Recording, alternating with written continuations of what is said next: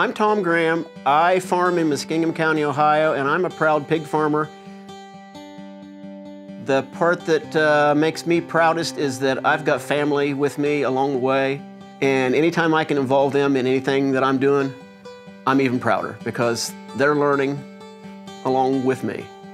This farm, we've been here 36 years. My parents bought the farm 36 years ago. It was farrow to finish. It was kind of like dropped in our lap when you buy a piece of property that's, that's you know, we, we were always in livestock, but to do it in this, in this realm was a whole different level. So when we started out that, mom and dad took care of the farrowing house. I kind of took care of the pigs from nursery, ground all the feed at the time for, for the sow herd, the nursery and grower. And then uh, things, things changed. And you know, with that, I've got kids that, that were interested in, in livestock we added, we added a contract barn along the way, and, and that process changed.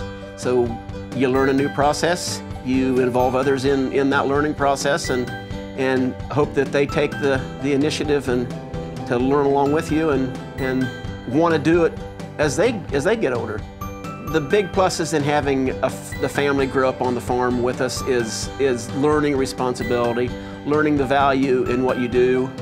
It's not all about it's not all about a paycheck. It's a lot about just doing what's right, providing, providing for, for your family, and providing for, for the community, really. I mean, you know, we're, we're providing food. Pig farming is a job. As growers, we attend uh, grower meetings. We have a vet that visits our barn at least once a month if we've got orders going out, more often than that, and that's always a time for for consultation to learn more, ask questions. Uh, we do a lot of uh, testing on the animals, so I, I, get to learn about what we're testing for and how that process works, and, and different customers demand different tests at different times, so it's, we're constantly learning about things. We stay on top of animal health here by the biosecurity that we do. The, the, the kind of the general rules for that is nothing from the outside environment comes in to the barn. I mean, the shower takes care of that and the, and the not crossing clothing. It's, it's an everyday uh, conscious effort to keep the pigs separated from whatever could be outside which, which, which, which could affect them. Confinement operations for hogs is, is different from, from, well, I'll go back and say historically what people understood about farming.